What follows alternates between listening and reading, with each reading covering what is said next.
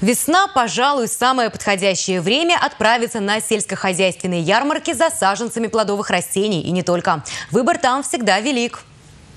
Наряду с хорошо известными сортами продавцы часто предлагают и новые. Как не купить кота в мешке и выбрать то, что действительно вырастет и даст хорошие плоды? Смотрите в нашем следующем репортаже. Того, чтобы в нашем регионе вырастали только действительно хорошие деревья, саженцы, продаваемые на рынках, должны соответствовать всем требованиям законодательства. В Чувашии ежегодно проводятся рейды и другие контрольно-надзорные мероприятия на рынках в период торговли ростками. Основное нарушение – отсутствие документов, подтверждающих сортовые и посадочные качества саженцев плодово-ягодных культур. Специалистами управления Россельхознадзора по Чувашской республике при проведении контрольно-надзорных мероприятий ежегодно выявляется следующее нарушение.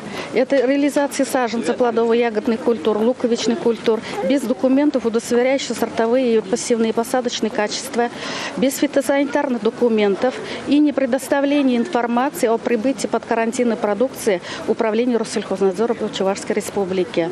А также нарушается требование ГОСТа, маркировки, э, прикрепляются к саженцам этикетки, этих э, данных этикетках нет полных сведений. Там должно быть о, на, о наименовании и адрес организации отправителя, а также адрес и наименование получателя, наименование культуры, наименование сорта, э, категории посадочного материала, Э, также должны быть сколько штук, количество пучки, а также э, обозначение стандарта.